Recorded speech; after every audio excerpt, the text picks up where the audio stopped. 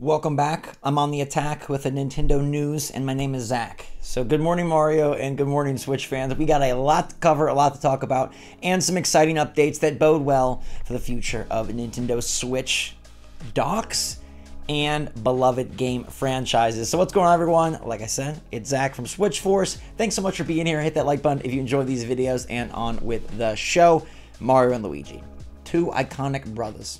I love them. I respect them. I miss their games. No, not Mario Odyssey. No, not Mario Kart. No, not Luigi's Mansion, but straight up Mario and Luigi. Alpha Dream made some phenomenal Mario and Luigi RPG series that were quite possibly the funniest games Nintendo ever released, and maybe even better in some ways than Paper Mario at their peak.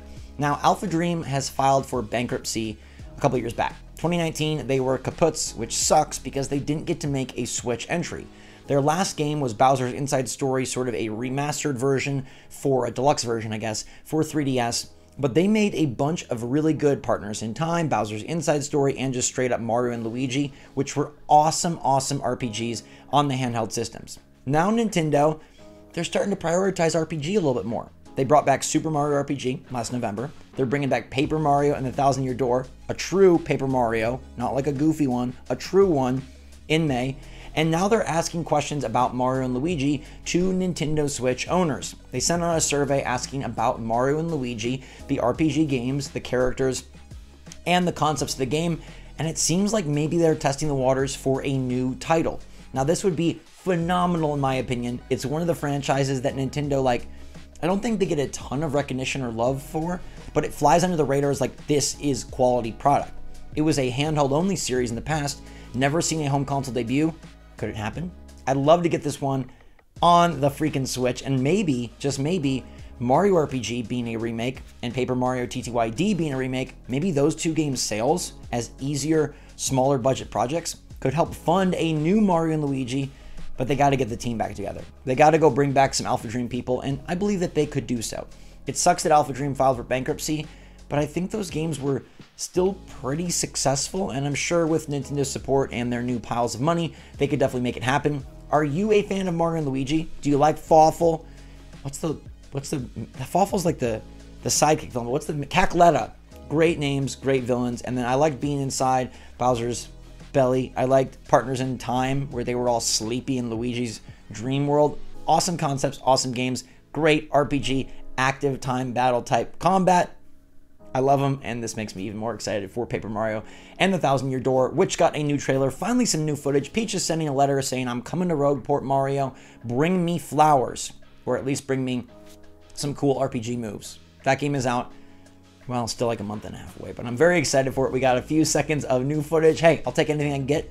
And it's sort of interesting because they're doling out new trailers for Paper Mario, for Endless Ocean, and we're kind of just really just getting the, the next couple months lineup out there and clearing the slate for whatever Nintendo has next. Now, what they might have next is an improved dock, because a patent spilled out that shows Nintendo with a rotating dock mechanism that I think is pretty nifty.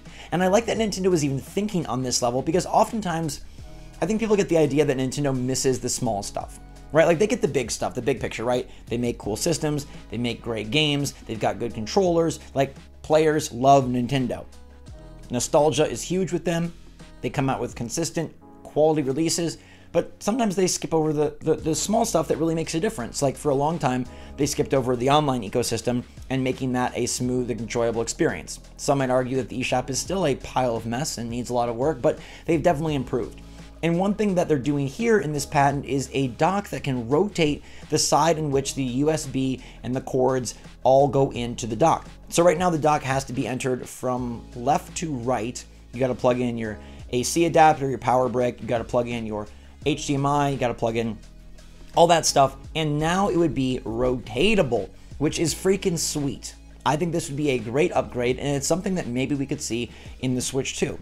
We don't really know what the dock is going to be like for the next Nintendo console. We've talked a lot about the system, the screen size, the controllers, the games, the graphics, but will the dock itself change? Will the dock be more than just a plastic shell? Will it have some sort of internal boost? Will it do anything different, or will it just be the same dock and it's the Switch body that is going to be getting the under the hood upgrades? We don't know, but maybe this is a sign of what's to come, or maybe not. Remember that Nintendo puts out patents like this, it usually means that they're not going to use it.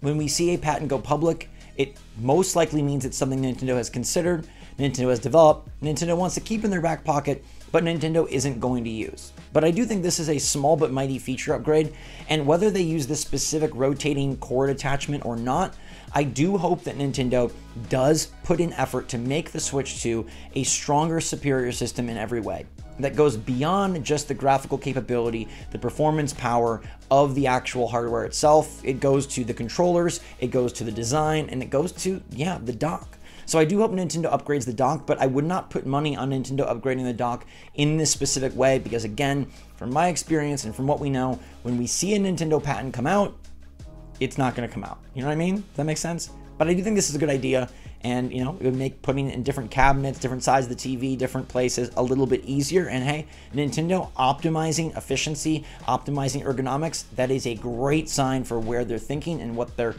envisioning for their future consoles. We really need more of that from Nintendo. They can become ultimate if they have great games, strong hardware, and fan friendly UI, fan friendly online, fan friendly interfaces, and physical hardware. I'm telling you guys, I really believe the Switch 2 is going to somehow, some way be even better and more successful and more awesome than the Switch 1. It might not happen, but it's just my prediction. I think people are underestimating and sleeping on what Nintendo can do with seven extra years of development time to make an even better version of the first hybrid console. Remember, they did it first, before Steam Deck, before ROG Ally, before any of those things. They made a hybrid console, and now they get to see all that's happened since and do it again. I think the Switch 2 is going to blow your minds. I also hope that something this summer blows our minds. As we wait for a Nintendo Direct, an Indie World, a console announcement, something, at least Ubisoft is on the map. They've stated that their Ubi Forward presentation, basically Ubisoft Direct, is going to be on June 10th this summer live from Los Angeles. There won't be an E3 to attend or an E3 to watch, but there will be a Ubisoft Forward, and it should have some good Switch stuff, maybe even Switch 2 stuff. Whether it's said to be Switch 2 or not, some of the games that are announced could inevitably come to the Switch system, and one that's being rumored is a new Prince of Persia. You might be thinking, wait, what? I already played that game or I already want that game. No, not The Lost Crown. Yes, The Lost Crown came out in January. It's phenomenal. They're dropping DLC throughout the year, including a story expansion later in 2024. But there are rumors of a new Prince of Persia roguelike game that's being worked on by developers from Dead Cells, which sounds freaking sick. I love what they did with Prince of Persia, and if they can bring back the POP franchise in a really bold way by introducing just like, hey, all these cool genres, Metroidvania, roguelite, like Prince of Persia is perfect for that, and I think it is. We could be eaten, my friends.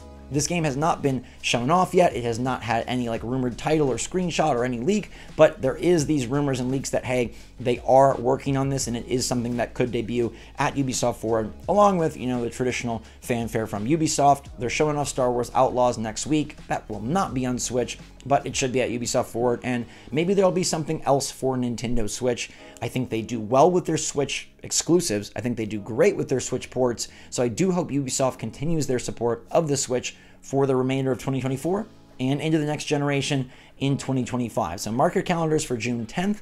Hopefully, we know more from Nintendo by that time. It would be great to get a double dose, an April Direct, and some sort of June reveal, whether that's just more gameplay, a game specific Direct, or a hardware reveal. We haven't really had a game specific Direct in quite a while, have we? There's not been anything sort of big enough to command a game specific Direct, but I'm waiting for it. Still just TBD on what's going down in April, but we're early in the month, so do not lose faith, do not lose hope. I've seen some people say, like, oh, already the first week of April's done. No direct, no presentation, nothing's happening. They put out the Paper Mario trailer, they put out the Endless Ocean trailer.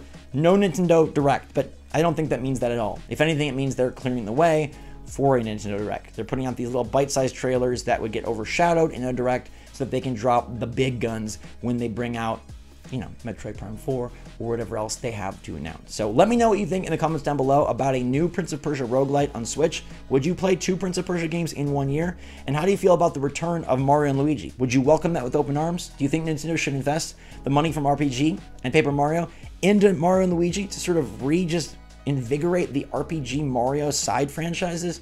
Or do you want them to stick with Paper Mario and maybe develop a sequel to Origami King or a new entry altogether? Let me know your take.